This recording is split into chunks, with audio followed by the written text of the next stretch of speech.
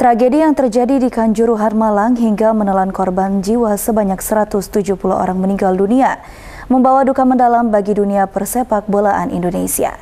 Pemerintah Kabupaten Sarolangun beserta Tripika melakukan doa bersama dan mengheningkan cipta di lapangan Gor Sarolangun Emas.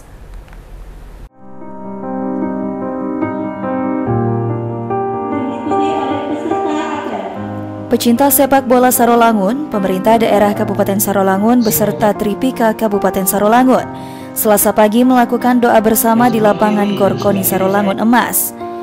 Aksi solidaritas yang dilaksanakan bersama PSSI Sarolangun, aksi solidaritas bagi korban tragedi Stadion Kanjuruhan Malang. Aksi solidaritas itu digelar dengan menabur bunga dan dilanjutkan doa bersama untuk korban tragedi Stadion Kanjuruhan Malang. Insiden tersebut membawa luka bagi semua kalangan. TNI Polri beserta pemerintah Kabupaten Sarolangun turut berbela sungkawa atas terjadinya di Stadion Kanjuruhan Malang yang menelan banyak korban jiwa maupun materi. Tragedi tersebut dapat dijadikan pembelajaran agar tidak terulang kembali. Pelajaran dari kejadian ini jangan saling menyalahkan, introspeksi diri bahwa kita satu kesatuan dalam NKRI.